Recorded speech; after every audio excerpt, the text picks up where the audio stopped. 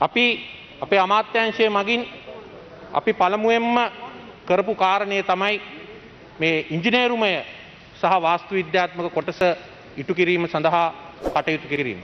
මා ස්තුතිවන්ත වෙනවා මොකද ඒ හුඟක් දෙනෙක් ගැන මෙතන සඳහන් වනේ නෑ අපේ ඒවකට අමාත්‍යංශයේ නියෝජ්‍යමති ලසන් තලගවන්න මැත්තුමාව අපේ අමාත්‍යංශයේ හිටපු ලේකම් නිහාල් රූපසිංහ මැත්තුමාව ඒවගේම මේ සම්බන්ධය කටයුතු කරපු අපේ අතිරේක ලේකම් මාද වෛද්‍යරත් මැතුම එතුම ජීවතුන් අතර නැති වුණත් ඒ වගේම මේ ව්‍යාපෘති අධ්‍යක්ෂක නිහල් ෆොනෑන්ඩු මැත්තුමා නාගරික සංවධන අධිකාරය හිටපු සභහපත්තුමා අධ්‍යක්ෂක ජනරාල්තුමා ඇතුළු මේ වෙනුවෙන් අවුරුදු තුනහමාරක් කැපවීමෙන් කටයුතු කරපු අපේ අමාත්‍යංශය ඇත් ඒ වගේම නාරා ආයතනයේ ඒ වගේම නාවික හමුදාවේ වෙනත් ශේෂ්ත්‍රවල විශේෂයම මධ්‍යම පරිසර අධිකාරයේ මේ සම්බන්ධයෙන් වෙච්ච නීත්‍යානුකූල කටයුතු කිරීම සඳහා ඉතාම අවංකෝ ස්වාධීනෝ කටයුතු කරපු සියලුම දෙනාට ස්තුතිවන්ත වෙන්න මම මේ අවස්ථාව කරගන්න.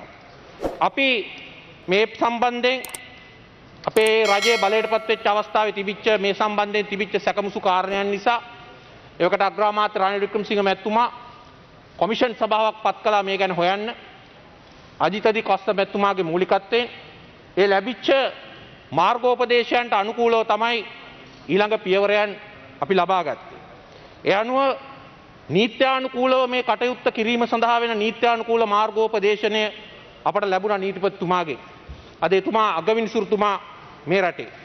ඒවගේම නිසි පරිසර ඇගීමක් කල තිබුණ නැති නිසා පරිසර ඇගීමක් කිරීම සඳහා අපට උපදේශනයක් ලැබුණ. ඉඩම ගොඩ කරන්නත් ගොඩ කලාට පස්සේ ගොඩනැගල ඉදි කරන්නත් වශයෙන් පරිසර ඇගීම් දෙකක් අපි විද්‍යානුකූලව කළා. ඉළඟට සමාජ ඇගීමක් තිබුණෙ නෑ මේකෙන් කවරාකාරයේ රැකියා ඇතිවෙනවාද ඒ රැකියාවලට අපේ රටේ ශ්‍රමය පුහුණු කරන්නේ කොහොමද කියන එක ගැන. ඒවගේම මේක ඉදිකරන කාලය ඇතුළත දීවර ප්‍රජාවට මේ අවට ජීවත්වෙන ජනතාවට ඇතිවෙන සමාජ බලපෑම ගැන අධ්‍යයනයක් තිබුණ අපි ඒ අධ්‍යයනය කළා. ඒවගේම මූල්‍ය හා ආර්ථික ඇගීමක් මේ මගින් මෙට අරමුණක් තිබුන්නෑ ඒ අරමුණ හැටියට මූල්‍ය නගරය කියන අදහස ගෙනල්ලා ඒකෙන් අපේ රටටත් ඒවගේම මේ කලාපීය ශේෂත්‍රයටත් ඇතිවෙන මුල්ල හා ආර්ථික ඇගීම කලා ඒ අනුව තමයි බිලියන පහලෝක රිජු ආයෝජනයක් දෙදා සතලිස් පහ වෙනකම්. මේක ඉතාම් වැදක දෙදා සතලිස් පහ වෙනකම් බිලියන පහලෝක ආයෝජනයක් සහ අසූ පන්දහසකට ආසන්න පිරිසකට ශ්‍රමදායකත්වය ලැබෙනවා කියන අදහස පැමිණි. ඒ ශ්‍රමය පුහුණු කිරීම සඳහා තමයි අපි හෝමගම ප්‍රදේශයේ තාක්ෂණ නගරයක් බිහි කල්ලා විශ්වවිද්‍යාල හතරක ඒ තාක්ෂණ පීටයන් එට ගෙනනිච්චේ ඒකට අවශ්‍ය කරන ශ්‍රී ලාංකික ශ්‍රමය අපි ඇති කිරීම සඳහායි. ඒ වගේ මම කියන්න ඕනේ දෙදස් දාහතරේ සැප්තැම්බ මාසේ එවකට ජනාධිපති මහින්ද රාජපක්ෂ මැත්තුමා මෙරට චීන ජනාධිපත්තුමා ආපු වෙලාවේ ගියවසුමක් එළමිලා මේ සංවර්ධන සමාගම ගැන. එට සංවර්ධන සමාගන් දෙකක් තිබුණා. මව් සමාගම CCCC සමාගම සහ මේ ඉදිකිරීම් කටයුතු කරපු චයින හාබ සමාගම. මේ එකගතා ගියවසුමක් ඇති කරගත්තා. ඒ එකඟතා ගියවසුමෙන් යම් යම් කරුණු පිළිබඳව සාකච්ඡා කරලා අපට පුළුවන් වුණා එහි තිබිච්ච ඇතම් කරුණු වෙනස් කල්ලා නව ගියවසුමක් ඇති කරගන්න එක තම අපි ලබාගත්ත පළවෙනි ජයග්‍රහණය. ඒ මගින් සින්නක්කරව ලබාදීලා තිබිච්ච හෙක්ටයාර විශ්සක ඉඩම අවෝසි කල්ලා මුළු ඉඩමම මුළු ගොඩ කරන ලද හෙක්ටාර දෙසි හැට නමයම අනූනම අවුරුදු බද්ධකට යටත් කරන්න අපට හැකියාව ලැබුණ. ඒ වගේම බදු කාලය අවසානයේ සියලුම ඉඩම්මල අයිතිය නැවත වතාවක් ශ්‍රී ලංකා රජයට ලැබෙන අයුරින් අපි ඒ ගියවසුම සංශෝධනය කළා. ඒ වගේම රජය හා පුද්ගලික අන්සේ හවුල් ව්‍යාපාර ඇති කල මේ යටතල පහසුකම් සලසන්. මෙතැන්ට විදුලිය ගෙනනිච්චා ජලය ගෙනියන්න ඕනේ මලාපොහන පද්ධතිය ගෙනියන්න ඕනේ කැලිකසල ගෙනියන්න ඕනේ කලින් මේ සියල්ලම තිබුණේ රජයේ වගකීමක් හැටියට ශ්‍රී ලංකා රජයේ වගකීමක් හැටියට. ඒ වෙනුවට රජය හා මේ සංවර්ධන සමාගම එකතු වෙලා සදන නව සමාගමක් මගින් ඒ කටයුතු කිරීම තමයි අපේ යෝජනාව තිබුණ ඒ අපි ඇතුල් කරන්න පුළුවන් වුණා. ඒ වගේම පොදු ප්‍රදේශ මෙහි තිබිච්ච ෆෝමිවලාවන් රේස්යන්න හදපු ඒ පොදු ප්‍රදේශය අපි උද්‍යානයක් බවට පරිවර්තනය කරන්න තීරණය කලා එමගින් ෆෝමිවලාවන් වල යන්න බැරි කොළඹ නගරේත් මේ රටේ ජීවත් වෙන අහිංසක දරුවන්ට නිදහසේ හුස්ම ගන්න පුළුවන් හෙක්ටයාර අනූ දෙකක පොදු භූමි භාගය තුළ විශාල ප්‍රදේශයක අපේ දැනට තියෙන ගෝල් පේ සුද්‍යානය වගේ හයගුණයක උද්‍යානයක් ඉදි කරන්න අපට හැකියාව ලැබුණ. අදේ උද්‍යානය මතුවමින් තියෙන අපිට ඒක සතුටක්. ඒ වගේම පොදු ස්ථාන හැටියට අන්තර්ජාතික මට්ටමේ පාසලක් අන්තර්ජාතික මට්ටමේ රෝහලක් ඒවගේම අන්තර්ජාතික මට්ටමේ සම්බන්ධන ශාලාවක් ශ්‍රී ලංකා රජයේ ආරම්භය කිරීම සඳහා අවශ්‍ය කටයුතු අපි ළඟා කරගත්. අපිට කියන්න සතුටුයි. අපි එංගලන්තයට ගියා ලන්ඩනයට ලන්ඩනේ ක්‍රේම්බ්‍රිජ් විශ්වවිද්‍යාලයක කතා කළා. අපි ඒ වගේම ප්‍රංශයට ගියා. ප්‍රංශයේ ලුව කෞතුකාගාරය ඩුබායි වල පිහිටපු සමාගමයක කතා කළා. ඒ සියලු දෙනාම මෙහෙ ගෙනල්ලා මේ ස්ථාපිත කිරීම තමයි අපේ සැලසුම හැටියට තිබුණේ. ඒ ඒ වගේම වසර තුනක් යනකම් ශ්‍රී ලංකා රජයට කිසිම සංවර්ධනයක් කරන්න ඉඩක් තිබුණේ නැහැ කලින් ගිවිසුමේ. ඒක අපි අයින් කළා වහාම මේ ගොඩකල අවසන් කර වහාම ශ්‍රී ලංකා රජයට පාසලක් ඒවගේම ඒවගේම රෝහලක් සහ හොට් ඒවගේම සම්මන්තන ශාලාවක් ඉදිකිරීම සඳහා අවශ්‍ය කරන කටයුතු අපි කළා. ඒවගේම මෙහි තිබිච්ච නීත්‍යානුකූල බාධාවන් සියල්ල ඉවත් කළා.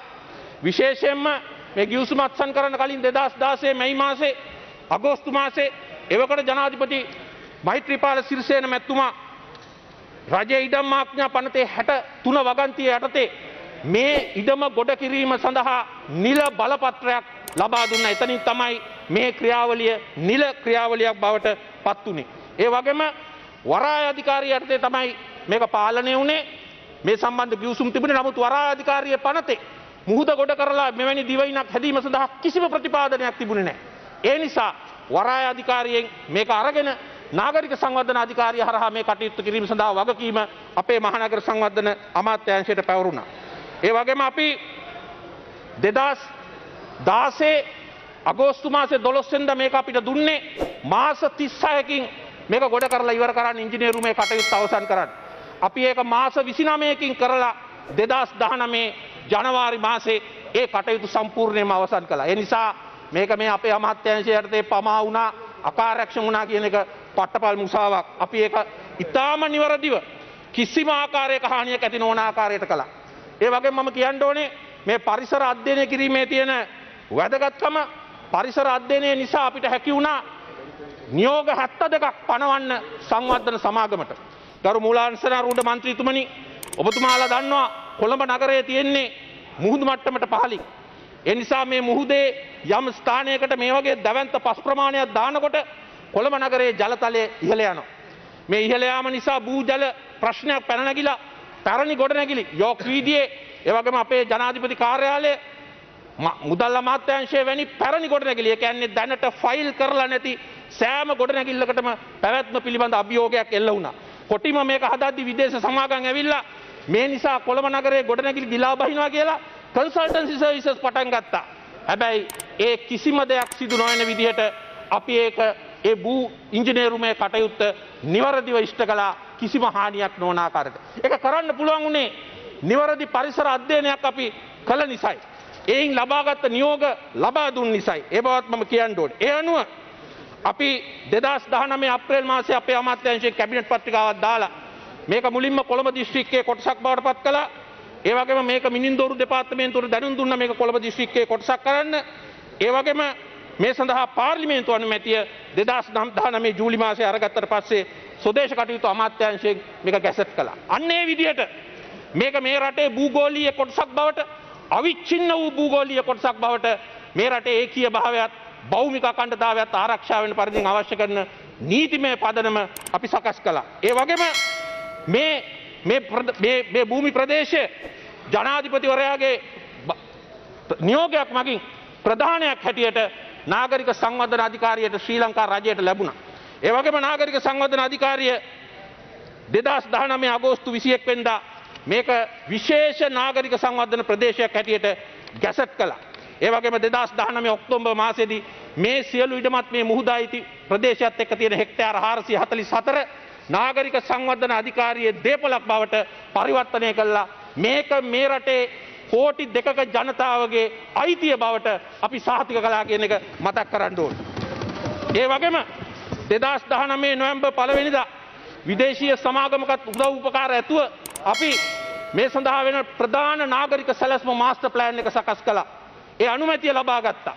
ඒ අනුව මේ සඳහා ඇත්තටම සකෝ කියන ස්විස්ටර්ලන්ත ආයතනය ඒවගේම සිංගපූරයේ සුබාන ජොරෝන් ආයතනය මේ අධීක්ෂණ කටයුතු කලා ඒවගේ මම ස්තුතිවන්ත වෙනවා මේ කටයුතු කරන හැම අවස්ථාවේදීම මේ සංවර්ධන කටයුතු කරපු ඒ සමාගම චෙක්පෝට් සිටි සමාගමේ කිසිම ගැටුමක් ඇති උන්නේ අපි ඒ සියලු දෙනා එක්කම සමගියෙන් ඒ කටයුත්ත කරන්න අපට හැකියාව ලැබුණා. ඒ නිසා අපි මේ මගින් නාගරික සංවර්ධන අධිකාරියට හෙක්ටයාර 62ක භූමි භාගයක් ගත්තා.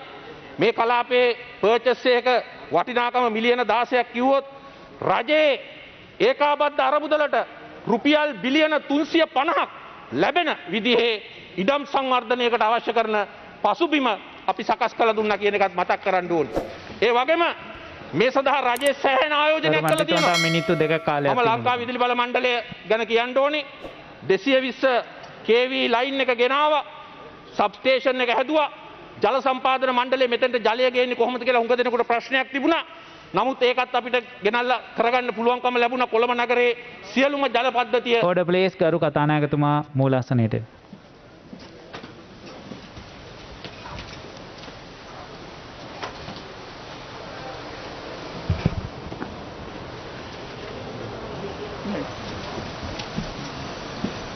අරු කතානායකතුමනි අපේ රජය පැත්තෙනුත් ඩොලර් බිලියනයකට ආසන්න ප්‍රමාණයක ආයෝජනයක් මෙහි සිදුවී තිබෙනවා. චීන සමාගම් පමණක් නෙවෙයි විදුලිය ලබාදීමට ජල සම්පාදනයට ඒවගේම මාර්ග සංවර්ධන අධිකාරිය විසින් මේ මේ කලාපය අධිවේගී මාර්ග පද්ධතියත් එක්ක සම්බන්ධ කිරීමට ඒවගේම මෙය කොල්ලු පිටියේ පන්සන්ධියත් එක්ක සම්බන්ධ කිරීමට සැහැල්ලු දුම්රිය පද්ධතිය මෙහි ගෙනීම සඳහා අවශ්‍ය කරන මූලික කටයුතු ආදිය පැත්තෙන් බැලුවම ශ්‍රී ලංකා රජයත් මේ ඩොලර් බිලියනයක පමණ ආයෝජනයක් මෙහි කර තිබෙනවා. එනිසා ශ්‍රී ලංකා රජයටත් නිශ්චිත අයිතියක් ඒ මුදල් ආපසු ලැබෙන ක්‍රමවේදයක් නිශ්චිතව අවශ්‍යයි කියන පදනම ඉඳගෙන තමයි අපි කටයුතු කළේ. ඊළඟට කාල සීමාව ඉතාමත්ම සීමාකාරී වුණත් කියන්න ඕනේ මේ කටයුත්ත කරද්දී අපි මතක තියාගන්න ඕනේ මේක සාර්ථක වෙන්න නම් මේක සාර්ථකව කරගෙන යන නම් මොකද මේ අපේ රටේ විතරක් තියෙන එකක් නෙවෙයි. මේ ලෝකේ 54 පොලක තියෙනවා මෙවැනි සේවා සපයන මූල්‍ය නගර. ඒ වගේ මේ ආසියානු කලාපේ සේවා සපයන ස්ථාන 60කට ආසන්න ප්‍රමාණයක් තියෙනවා. මේවත් එක්ක අපිට තරඟ කරලා ඉදිරියට යන්න නම් අපට පළමුවෙන්ම අවශ්‍යයි දේශපාලන ස්ථාවරත්වය. මේ ගැන සැකයක් ඇති වුණොත් මේක එක්තරා එක පැත්තකට අපි අද දන්නා මේ ලෝකේ බලකඳුරු පැහැදිලිව ඇති වෙලා තියෙනවා. චීනය එක පැත්තක ඉන්න ඇමරිකා එක්සත් ජනපදය තව පැත්තක ඉන්නවා. ඇමරිකා එක්සත් ජනපදය මේ වෙනකොට කොඩ් නමින් ආසියානු නේටෝවක් හදලා තියෙනවා. ඒක ආර්ථික ක්‍රියාවලියක් බවට පත් කරගෙන යනවා. ඒ වගේම යම් යම් රටවලට උපාය මාර්ගික අවශ්‍යතා තියෙනවා ඒ රටවල් ඉදිරියට ගෙනියන්න. චීනය මේ එක් තීරයක් එක් මාවතක් නමින් 2013 ඉඳන් උපාය මාර්ගයක් ඇති කරලා තියෙනවා. එක්සත් ජනපදයේ තව එකක් කරලා තියෙනවා. ඉන්දියාව තව එකක් කරලා තියෙනවා. දැන් ඉන්දියාව තමන්ගේ soft diplomacy යටතේ තමයි අපට මේ හර්ෂ දිසිල්ල මැතිතුමාලා සංවිධානය කරපු ඒ ගිලන් රථ සේවය ලබා දුන්නා. අපි මගේ අදහස අපි මේ දෘෂ්ටි කෝණවල ඉඳලා මේ ඇමරිකාවෙන් හම්බ වෙන අරක චීනෙන් හම්බ වෙනවා මේක ඉන්දියාවෙන් හම්බ වෙනවා කියලා විරුද්ධ වෙන්නේ නැතුව රටේ ජාතික අවශ්‍යතාවය මත කටයුතු කරනවා මිසක් කිසිම රටකට එරෙහිව කිසිම රටක් එක්ක ගැටෙන මට්ටමින් ගියොත් නම් අපට මේන් ප්‍රතිඵල නෙලා ගන්න බෑ.